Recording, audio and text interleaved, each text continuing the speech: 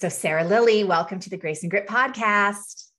Thank you. Thank you for having me. Absolutely. I love the story about how you arrived here today in terms of like you first went through the consistency code with me. Gosh, how long ago? Three years ago? Yeah, I think three years ago. Yeah. Yeah. And then you became a founding member of Rumble and Rise, like a, yeah. you were one of the OG. initial members. Yeah.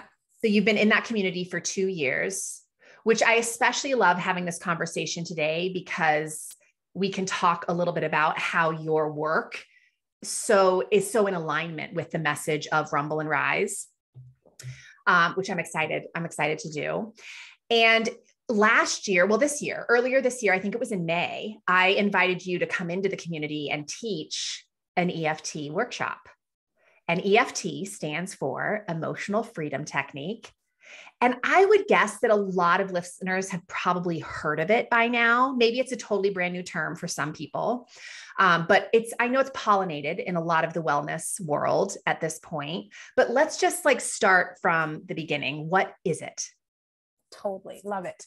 Um, so EFT stands, as you said, Emotional Freedom Technique. Um, it's really a combination of ancient Eastern practice and modern Western psychology. It's also called tapping, right? Because you're literally using your fingers to tap on acupressure points on your face and body.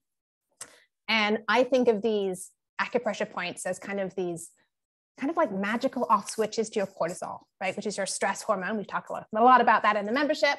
And so, as you're talking about anything that's stressful, whether it's a, a, major trauma from your childhood, whether it's a phobia, whether it's something stressful that's happening at work or around your kids, anything that's causing you stress, as you're talking about that out loud and tapping on these points, you're telling your amygdala to calm down. You're telling the amygdala it's safe, and you're moving yourself from this place of stress this place of trauma from the sympathetic nervous system into the parasympathetic nervous system. So you're moving yourself back to a place of alignment, to a place of to back to your center, so you can make choices and take action from that place, as opposed to an old habitual place, a stressed out place, a place of trauma. I love it. So you threw out some big words there. So let's clarify them. So the amygdala, because yes, I like I talk about it a lot in my own work, and I know I've mentioned it on the show, but I'm sure there's some people out there saying, "What is the amygdala? What does it do?" Totally. Well, I mean, it, it's just basically the the lizard brain, like the oldest part of your brain, right? Uh, which is basically survival, right? It's that part of our brain that fires when we get in fight or flight or in a stress place. Yeah. Um, and certainly, uh, it has a purpose, right? It keeps us safe. Like a certain amount of fear and that response is helpful. Like it keeps us alive in in in dangerous situations. The problem is is when we uh, that stress when we get stuck in that place of hypervigilance. So where something happened to you, like for example, um, I had a client who a, was in a car accident, a horrible car accident. She's okay, but that obviously is a real trauma, right? And that was a real place of, of you know, a really traumatic situation. But the problem becomes when now she has a really hard time driving and, she, and she's still she's stuck in that place of trauma and she's stuck in that place of hypervigilance and it's kind of taking over her life. So yes. it becomes problematic when your amygdala is kind of constantly firing as opposed to uh, moving moving out of that place. Yeah and really, in, the, in the most basic definition, I always think of the amygdala as just the very reactionary part of our brain, right? So something happens and our amygdala immediately responds based on patterns we've maybe been practicing for a long time, or like you said, we have a trauma response that we have maybe been retaining for a really long time. So you, the tapping work helps us to get out of that reactionary response and exactly. really become more proactive in our choice around how we want to handle the stress. Absolutely. Because you've talked about too, when we're in that place of fight, flight, or stress, right? Like our systems shut down, right? Like our digestion shuts down. The brain, the, the blood from our brain literally leaves the brain to go to our extremities to run from that imaginary tiger, right? Yeah. So when we're coming back to that place of, of calm, of centeredness, um, our, our thinking is literally clearer, right? We have clear cognitive thinking, our creativity comes back online, and we're able to make choices from that centered place and as out instead of that habitual place, as you said. Which has so much to do with behavior change, right? Because if we are, like, we all know that our reactions are literally habits. It's a way we've been responding to the world for so long. We literally just do it without having to think. And if we're always in reaction mode, we can't really change our behaviors. So, Absolutely. tapping is a really awesome gateway for helping us to get out of that reaction response and again more into proactive choice. I also just want to clarify for the listener um, the nervous system because for a lot of people they've heard about the nervous system right? Eighth grade biology did a great job of introducing us all to that. But the parasympathetic versus the sympathetic nervous system um, we we want to have a balance of living in both spaces right we are designed to have these two parts to our nervous system the sympathetic being do you want to explain this yeah, yeah, the sympathetic being, which I always feel like is badly named because it always confuses me. Sympathetic know, to me sounds always, good, always so that's the bad too. one. I literally so many times reverse them. So yeah, the sympathetic nervous system is that place of fight or flight, that yes. place of stress, that place of like the tiger's going to eat me. Yes. Right. And then the parasympathetic nervous system is the place of rest and digest, is that place of calm, is that place of alignment. Absolutely. And modern day life has us living in that sympathetic nervous system uh, kind of in a constant state. Yeah. Which of course we're you know we're always having this hormonal cascade of cortisol and all the negative consequences that causes which really depletes our health in so many ways yeah yeah absolutely i think the the i mean we have this amazing scientific data now about tapping to and about what it does to your cortisol levels um, they just did a replication study where they had a group of people and they divided them into three groups they spit into a little cup, right? So you can actually measure the cortisol in that saliva. Okay. Then a third of the group did an hour of EFT. A third of the group did traditional talk therapy, and a third of the group read magazines for an hour. Okay. Then they spit in a cup again, measured the cortisol again. The EFT group, their cortisol went down 43% in one hour. The, the uh, talk therapy group went down 19%. Mm-hmm. And then the magazine group actually went up 2%. So now we actually have this amazing scientific data to literally measure that EFT lowers your cortisol. I love it. And speaking of cortisol, we're rolling into the holiday season at the time of recording this this interview. And so there's a lot of opportunity for stressors for cortisol to be raised even more than it normally is. And so I could not be more thrilled that we're having this conversation at this time because I think tapping is such a easy and accessible tool for everybody to use yes. at any time. Absolutely. It's it's free, it's easy. You can do it in 5 minutes. You could even just do 2 minutes if that's all you have and yeah. you will immediately feel the benefits of it. Absolutely. Yeah. So cool.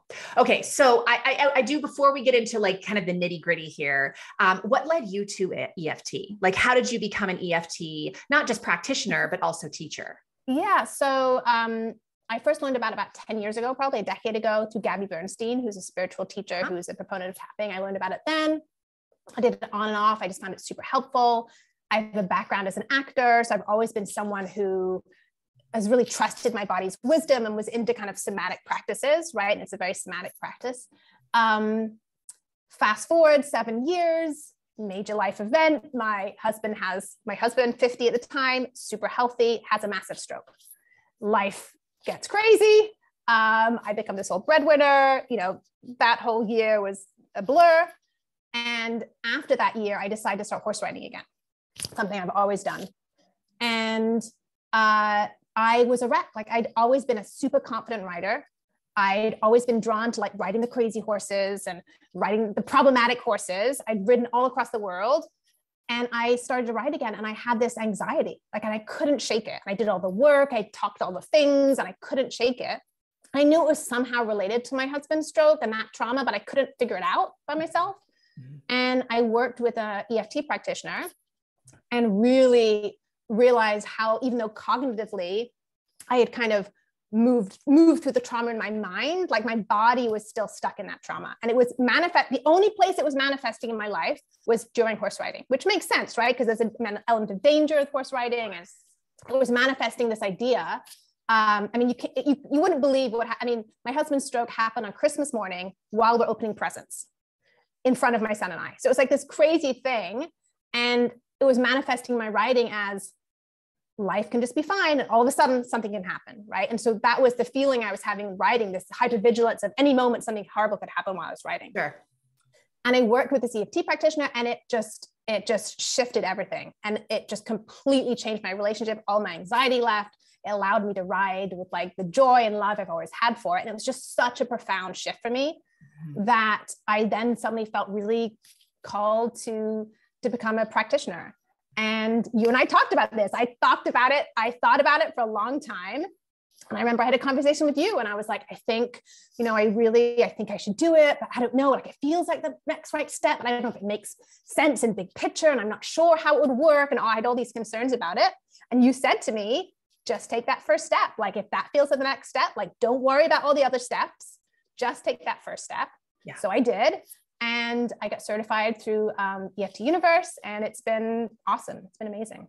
I'm so, yeah. glad you did because yeah. it's it's kind of like you had that pull, and there's you had to uh, you had to trust yourself that you had, you know, that pull was there for a reason, and you would figure it out as you followed it, and you did. And now look where you are. Like it's just such a cool yeah. story. It's so beautiful. And I love what you spoke to earlier. You mentioned this is a somatic practice it is a way of connecting the brain and the body. We often hear of like mind body medicine or the mind body connection. And the truth is, they're not separate, right? This is all like one of the same. It's all connected, it's all communicating with each other at all times. And it's one of the things that I appreciate about the tapping technique is that it helps to connect the two. Right? Oh, because oh, how we think has so much to do with like the emotion that we're generating in our body, but also things get stored in our body that make it really difficult to manage our thinking if we don't deal with those stressors. Absolutely. Yeah, totally. So I love that this kind of helps to tackle both the mental and physical stressors of our life. Um, I also, we, we spoke about the nervous system. Um, the other thing I wanted to mention in terms of how, like how your work is so in alignment with the types of things we talk about inside of Rumble and Rise is because we do so much work in Rumble and Rise around behavior change, a big part of behavior change is leaning into difficult emotion rather than running away from it. Yeah. Right. It's like, totally.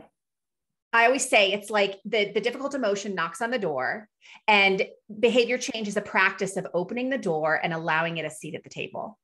Yeah. And tapping is such a literal translation of that, right? That you're literally tapping initially on exactly what you're rumbling with. So will you speak absolutely. to that a little bit? Yeah, I mean, whether it's, you know, I, I absolutely agree. Uh, yeah, don't. Yeah, don't it just it really does allow you to do difficult things, right? Whether it's like you're about to do a really scary presentation at work and you can just tap right before you go on stage about all the fears and the concern right? And allow allow yourself to very gently kind of process that unwanted emotion so you can get on stage with in, in a place of confidence right? Uh, we talk a lot about buffering right? And and how you have to um, be with that urge and allow that urge to pass through you right? And you know whatever it is you've made a commitment uh, that you know you're not going to have the pint of ice cream while watching netflix and suddenly you're watching the Netflix and suddenly it feels like that ice cream, like you just have to have it. And it feels almost overwhelming. Um, probably may or may not be speaking from experience. Um, where, no, you, it's muffins. Yeah. where then it, it you're feeling that urge and you can literally tap through that urge and it's a really beautiful way gentle way to allow yourself to have that urge and allow that urge to feel that urge and to let to support you feeling it and allowing it to pass through you. And I even think I was thinking about this the other day because I was listening to the, the current masterclass, right, in Rumble and Rise, which is about self coaching and self leadership. Yeah. And to me, tapping is, is self coaching, it is self leadership. I right? totally agree with that. It gives you a moment to pause, to identify what you're feeling. Yes. And then it takes it a step further by allowing you to process that unwanted emotion and make a different choice from a calm and centered place. Yeah. Okay. So you just so beautifully illustrated this that this technique, in literally a matter of minutes, sometimes maybe even seconds, right, is the practice of pausing, which is, I'm going to say, the number one barrier to entry. Okay. Mm. Like we're just going to call that out because a lot of people are not willing to slow down. And I'm going to have you speak to this in just a second. So we have to pause. And then the next thing we have to do is we have to have hyper awareness of where we currently are. There's a level of acceptance that we have to have with what currently is. And boy, do people hate that because it doesn't feel good. Right. So we just want to ignore it. We want to move past it. We want to fix it. We want to numb it. We want to do anything but acknowledge it. Yeah. So we're asking people to pause. We're asking people to accept before they can start to process to shift that energy. So, can we speak a little bit to those first two barriers to entry? Because yeah. I know that those are, if people can get past those things and see the value in working through those things, they'll get to this bigger practice. Absolutely. So, yeah, there's a famous Louise Hay quote that she talks about how when you clean your house, you have to see the dirt first before you can clean it, right? Yeah. And that to me is is so a great metaphor for tapping, right? That we have to acknowledge where we're at and be honest and accept that before we can move forward. Mm-hmm. And when we tap, we do at the very beginning, we do like these three kind of what we call setup statements, which are just acknowledging where you're at. Even though I'm feeling this, I, I feel like this in my body. I it makes sense I feel this way. Or even though I'm feeling this and I hate this, I have compassion for everything I'm feeling, right? So it's all about just accepting where you're at so you can then move through it. And I think one of the things some people are resistant to about tapping is that there is this focus on this and I use air quotes, negative emotion piece, right? That people are scared to affirm this unwanted feeling they have because they, they're scared it'll engulf them, or they, as you said, they just it'll stay around it. forever. It'll they'll stay around forever, or they'll, and it kind of like law of attraction, right? They'll talk about it and it'll, it'll just, it'll get bigger, right? Yeah. But it's actually the opposite because what you're doing while you're talking about this and you're tapping, again, you're telling the body it's safe. You're telling the amygdala to calm down, that you're safe. And it allows you, again, it's such a gentle technique tapping too. It's really when you're talking about these negative things, it's so gentle because you're literally while you're talking about it, you're telling the body it's safe and it's it's time to calm down. So it's very very gentle. And as you talk about it and tap, you're allowing it to pass through you and to move through you, right? And it's just um, it has the opposite effect of of people's fear about kind of affirming the negative in that way. Yeah, absolutely. And then once we have affirmed what our reality is, then what? Well, then you can choose a new thought, right? Like we talk in the thought model work, right? Then it's like, okay. And sometimes even it can be, even if that that unwanted feeling is sticking around. So even if it's like, even, even though there's still a tiny part of me that's feeling a little scared, I choose this, right? I choose to approach this with confidence. And sometimes that can be really helpful too, because you don't have to you don't have to get rid of all this unwanted feeling, especially if it's a habit, it's been around a while, right? We can have compassion from that part of ourselves. So it's like, even though maybe when you started tapping, it was a 10 of, of uh, you know, stress or upset. And maybe now it's just, maybe it's a one or a two. Yeah. And so it's like, even though I still feel a little bit scared, I choose to approach this event with confidence. Even though I still feel a little bit nervous, I choose to trust in my preparation and trust in myself, right? So from that calm and centered, a more neutral place, you can choose how you want to you know react to the thing. Not take that i do not use the word react. Choose how you want to relate to the thing yeah. right? And it and as you said it doesn't come out of this place of reactivity and these old habits and you can choose a new way with which to approach this this thing. Absolutely which is so aligned with your thought model work right? Which is very similar overlap there for sure. And i, lo- I love what you just mentioned there. I just want to kind of re restate it is that you can have and tapping shows you this time and time again you can have two emotions sort of coexisting at the yeah. same time. You can be scared and still feel motivated. Yeah. You can feel self doubt and simultaneously feel excited. Yeah. And I feel like the tapping technique, I know for me, really allows me to acknowledge that both are existing and that I'm choosing to turn my head towards the one that's most useful. Absolutely. Yeah. it's really about sort of, I think sometimes those old fear thoughts, they just want some acknowledgement. They just want to be heard. Right. So it's like, I hear you and I acknowledge that. And thank you. And I choose this. Right. It's, yeah. and it's like I tell my son all the time, it's like, you know, confidence isn't I feel confident. Confidence is like by taking action, doing the thing, right? Or, or, bravery isn't like I feel brave and now it's like I do the thing and that's bravery. Bravery is when you feel scared and you do the thing anyway. And that's when bravery comes, right? So it's that same idea that we can hold, um, yeah, we can hold more than one emotion. And we're not that, we're just more complex than that, right? Having one emotion. Definitely. Um, so will you explain a little bit about the actual tapping piece. Like, what is that doing? So, as we're pausing and as we are acknowledging our current reality, we're simultaneously tapping on these different acupuncture points in the body, correct? Correct. Yeah. And so will you explain a little bit about the the the intention behind that? Like what is that actually doing energetically inside of our body as we're saying these statements? In terms of what is the what is the actual tapping piece? Yes. is that what you mean? Yeah. So the actual tapping right? Like we don't think of our bodies this way but we're really electrical beings right? We think of so much of our bodies as like biological right digestion and that kind of stuff. We're also like electrical beings right? Like our brain is like pure electricity yes. right? And these acupressure points this kind of nine basic ones we think about in tapping, like the basic points, other points as well, but the kind of nine basic points. Um, they're the end of these meridians, which is what you use in acupuncture, right? These ancient sort of meridians that are proven to be uh, the most kind of electricity, you know, most conductive points on our body, basically. And you can actually, you can even buy one on Amazon. You can actually buy these little kind of um, uh, pens now on Amazon. You can literally put them on your body, and when you hit the exact acupressure point, they go ding, ding, ding, ding, oh, and actually literally measure like where where the to show you exactly where the points are, right? So if you if you're unclear, and it literally will will ding, ding, ding when you hit that point of electricity, basically connectivity, basically.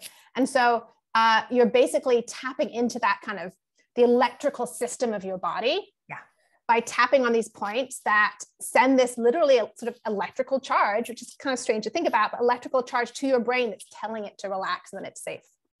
I love it. Yeah. So it's a beautiful way of explaining it. Like I've never thought of it in that those terms, and that's just very helpful.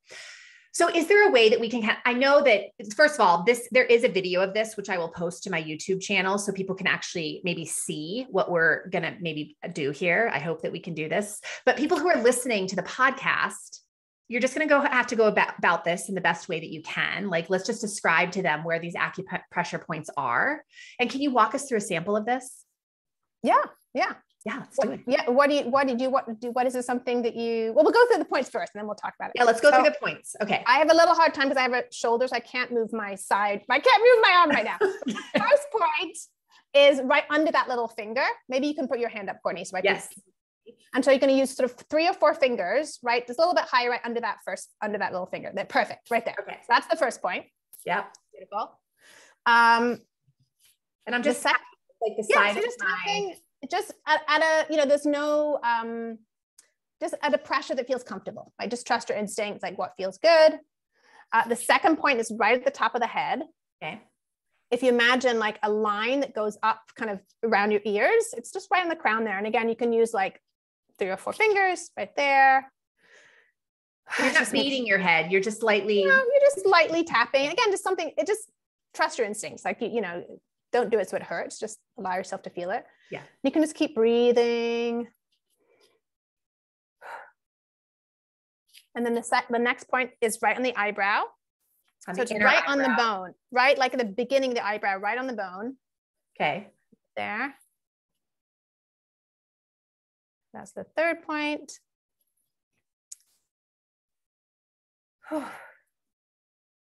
And then the next point is moving to the side of the eye.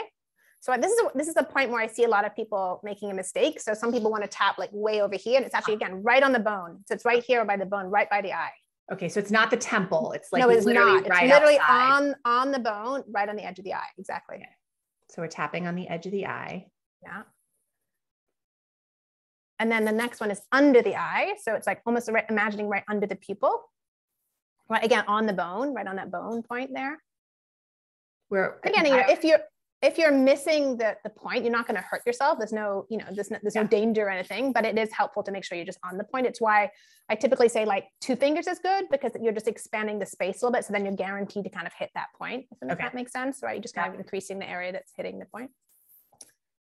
Just keep breathing. And, you know, if you're doing this along with us, you may feel something hot, a little cold. You may start yawning. It's all very normal. It just kind of means like energy's moving. Okay. Um, under the nose is the next one. Halfway between the nose and the mouth here. That divot there. Like that little divot between your yeah. Mm-hmm. Yeah. And then we have the chin halfway between the bottom lip and the chin, again, kind of in that little divot area.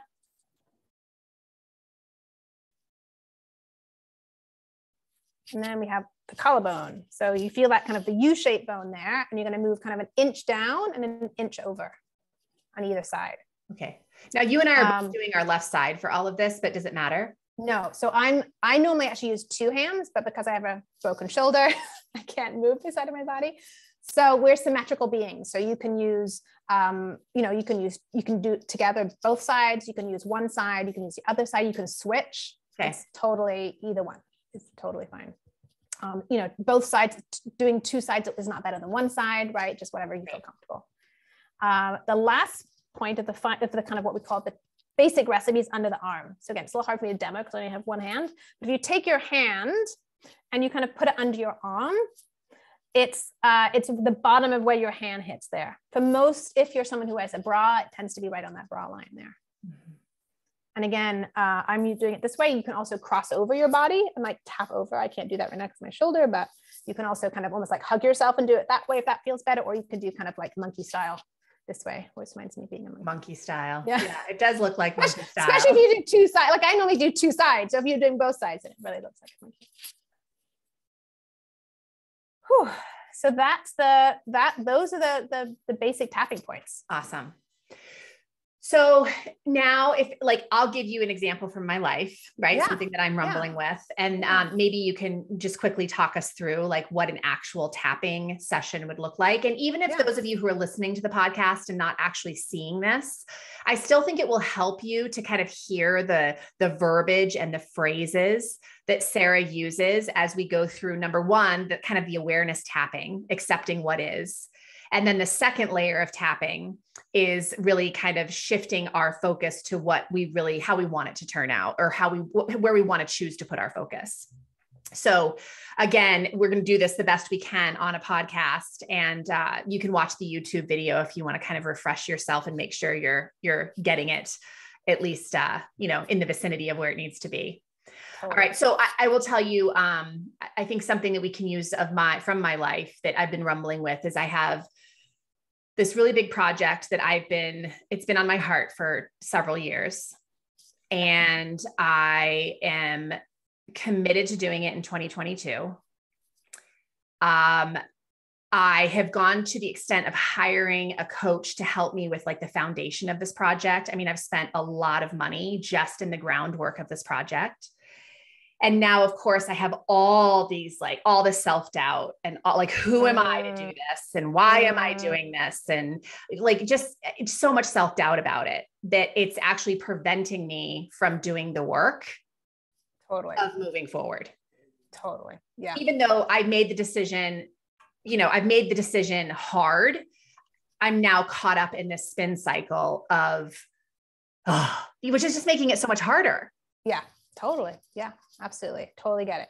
Um, and I just want to say, just for people watching the YouTube video, yeah. um, if you're watching this as I'm tapping with Courtney, um, if you actually just follow along, because we have these mirror neurons, even if you know you don't relate to Courtney's specific issue that we're going to tap on, if you literally tap along as we're doing it, you will actually get some of the benefits of, of Courtney's shifts just because of these mirror neurons and that we, you know, your brain is going to kind of also receive some of these benefits. So oh, interesting. if you're just watching along, I'd encourage you to kind of tap along as we as we tap. Okay. Awesome. So you just put your hand on your heart a little bit and kind of tune in. And so just thinking about that that big project what is um and you don't have to tell me what it is you can just talk about like you know you can you know just say the next step so thinking about like the next step so getting more specific than just like this big project mm-hmm. like a specific step that you need to do for this big project that you're feeling a lot of resistance and self-doubt around. So just tuning into that, right? Whatever that next step is, this is something you want to take, it's related to this project.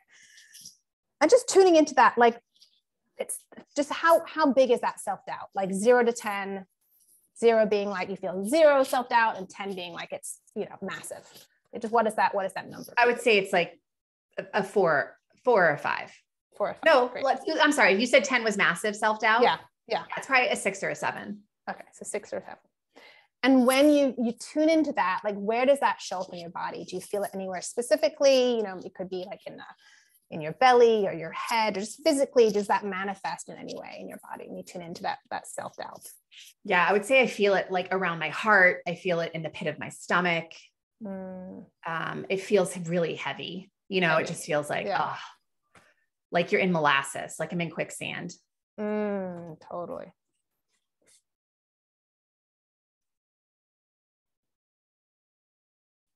And is the heart and the stomach, is it both, they both have that kind of heavy feeling and they both, they both feel heavy? Yeah. I mean, I would say my stomach, like again, kind of because it feels like there's a pit or almost like a hollowness, but like a heaviness at the Mm. bottom of the hollowness. Mm.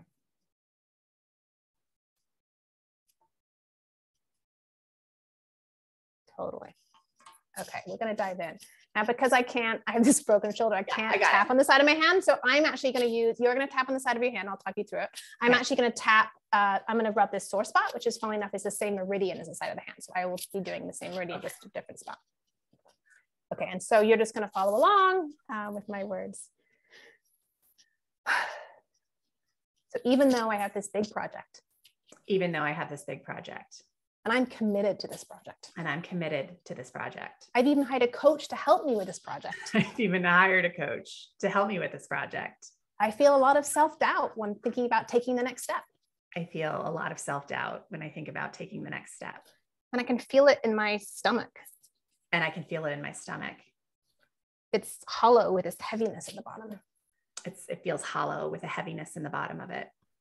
But I have compassion for everything I'm feeling. But I have compassion for everything that I'm feeling. Do, does that feel true to you that you have compassion? Can you have compassion? Because if you don't, it doesn't feel true, we'll, we'll change the language. I want to make sure it feels.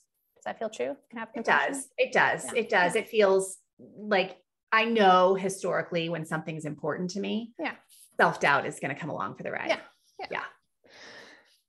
Even though I'm committed to taking this next step towards this big project, Even though I'm committed to taking this next step towards this project, I feel all this self doubt.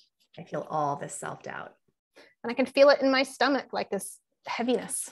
and I can feel it in my stomach with this heaviness. And just breathe into that heaviness as we're talking about. Just make sure you're breathing into that heaviness.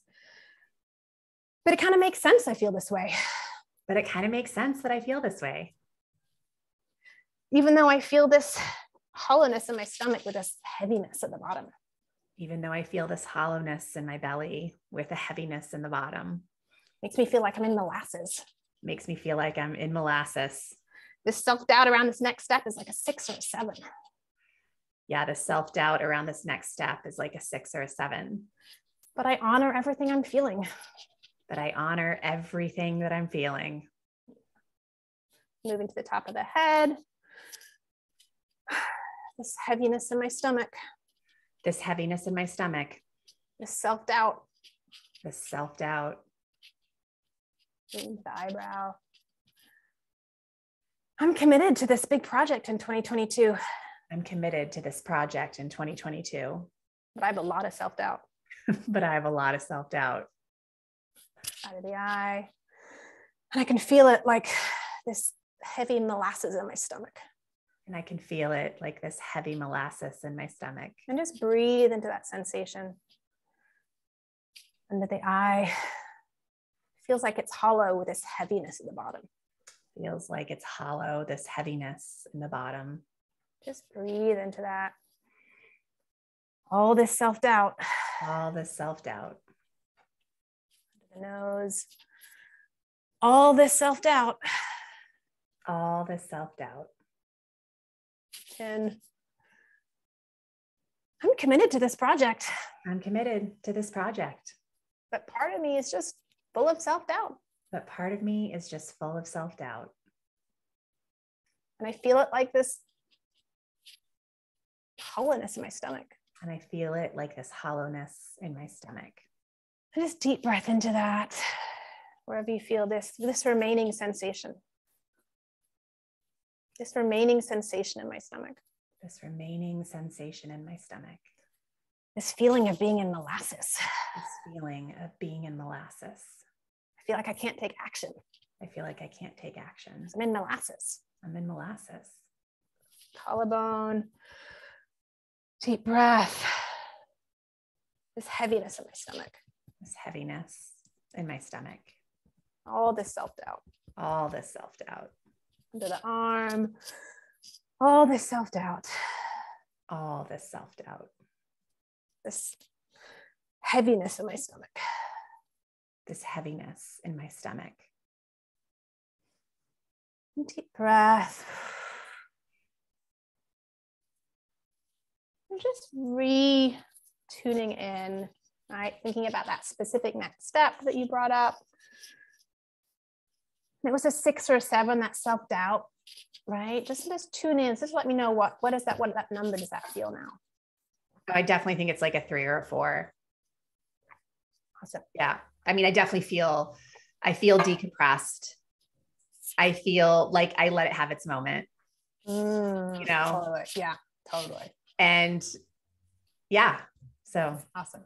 So normally I would do just for time. Normally I would do one more round because I like to get that number to like a, a, one or a two, ideally before we move to the kind of choosing a new thought. Yes. But just for time, I'm going to kind of just fast forward a little bit if that's okay. Sure, please. So I just want to, so now, so we're going to assume I just did another round. Uh, and now it's down to like a one or a two, right? We just kind of keep letting it shift. And now we'd move to another round where I just would ask you how this next step that you came up with that you want to take, what, um, how do you want to relate to that? Like, how do you want to choose to relate to that next step? Um, I would say like excited and purposeful. Mm. Love that.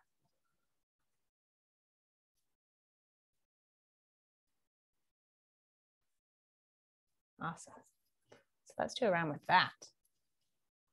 Excited and purposeful. Okay, so we're gonna go back to the side of the hand.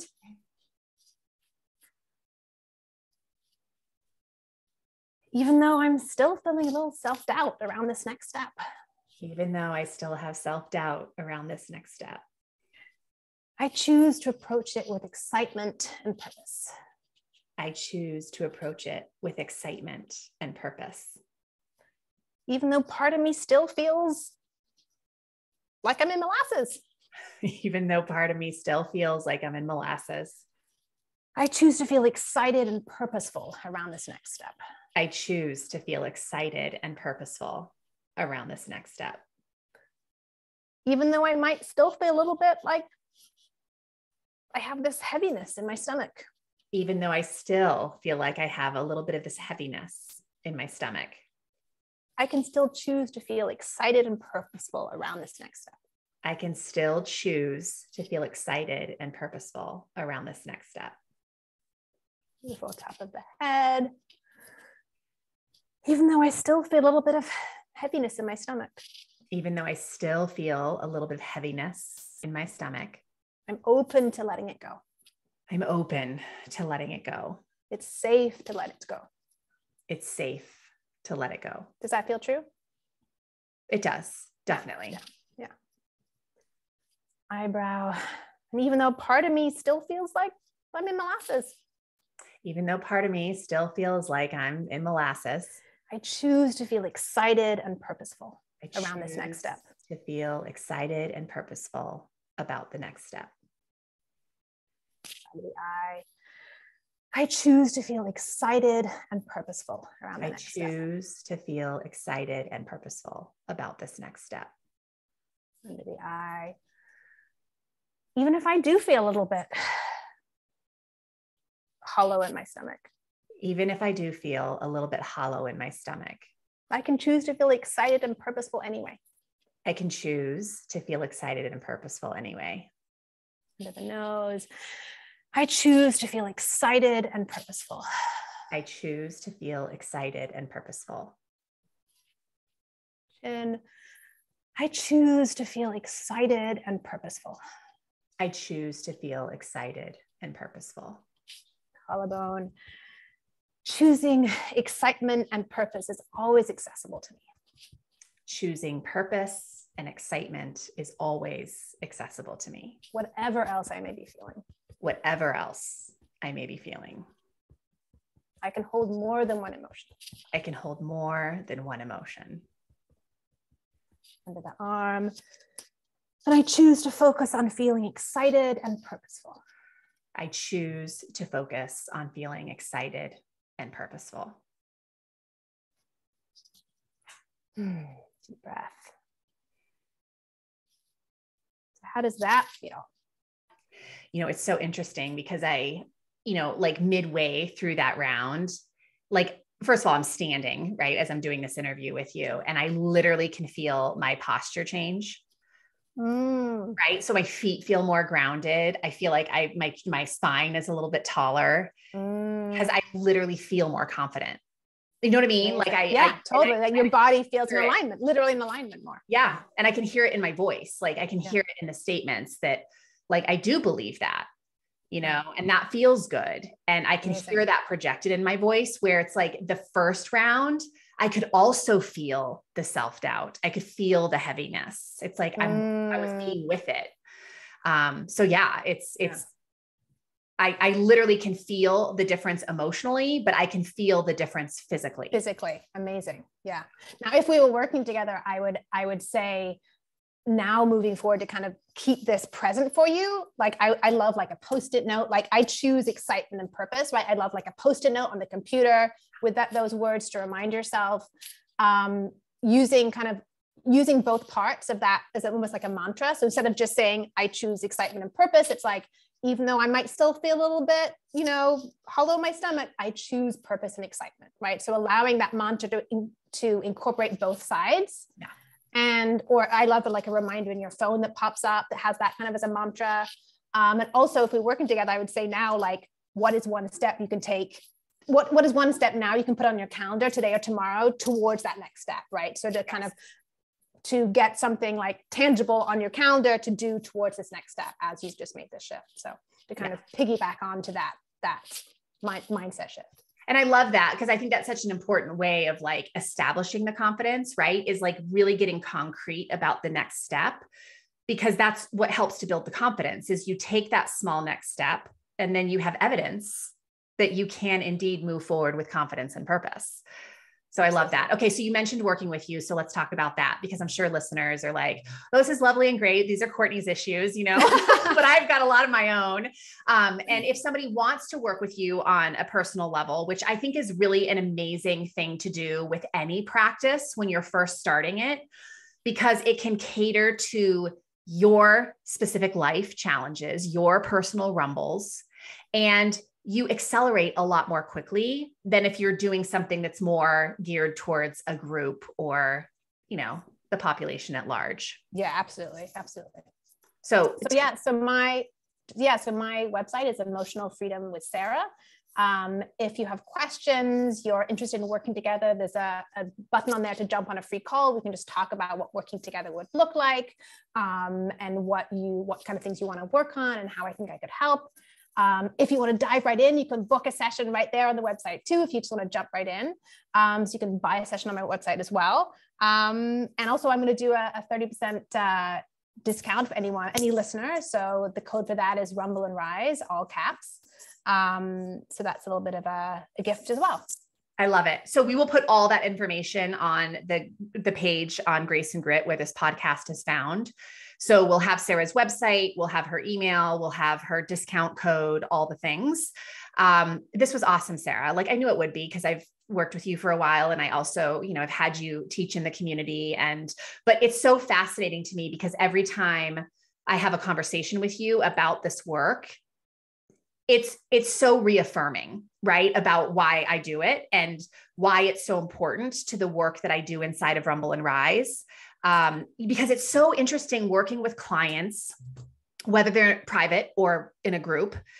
One of the questions that always comes up, because I'm always saying we have to allow emotion. We can't resist it, we can't numb it, we can, but that's only going to deplete your health. We have to learn how to allow emotion. And the question that always comes up is how do I allow emotion? And there's a lot of layers to that, right? Because sometimes people don't even know how to label an emotion.